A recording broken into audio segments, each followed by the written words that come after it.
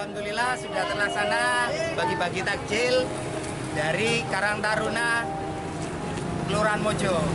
Pada hari ini sudah dibagikan sebanyak 250 250 paket untuk bagi takjil di di depan SMKN 5 Surabaya.